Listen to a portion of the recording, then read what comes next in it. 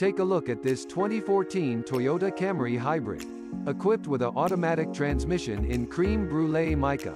This car comes with some great features including automatic emergency braking, traction control, backup camera, brake assist and more.